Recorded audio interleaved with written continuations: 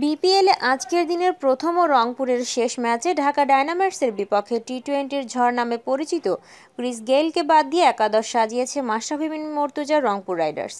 তার জায়গায় নেওয়া হয়েছে জনসন সার্লসকে এছাড়াও রংপুর একাদশে জিয়াউর রহমান, চামারা কাপু কেদারা, নাজমুল ইসলাম সোহাগ গাজী এবং ইসলো উদানাকে বিশ্রাম দেওয়া হয়েছে। তবে দলে ফিরেছে রুবেল, আব্দুর রাজ্জাক, শাহরিয়ার নাফিস, এবাদত হোসাইন, জনসন সালস, এর অ্যাডাম লিথ ও স্যামুয়েল বদ্রি। অন্যদিকে ঢাকার একাদশে এসেছে তিন পরিবর্তন। মেহেদি মারুফ, আমির, সাদ্দাম এসেছে দলে। বাদ পড়েছে আফ্রিদি কেমেরুন ডেলপোর্ট, সাদমান ইসলাম, নাদিফ চৌধুরী।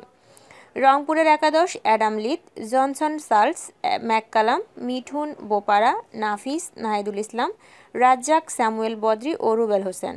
ঢাকার একাদশ, Lewis জোডেনলি, Mehedi Maruf, Sunil Narine, Pollard, Shakib, Jahurul Islam, Mosaddek, Abu Haider, Amir ও সাদ্দাম। দেশ বিদেশের ক্রিকেটের আপডেট নিউজ নিয়ে আবারও আসব একটু পরেই। লাইক, কমেন্ট আর সাবস্ক্রাইব করে আমাদের সঙ্গেই থাকুন।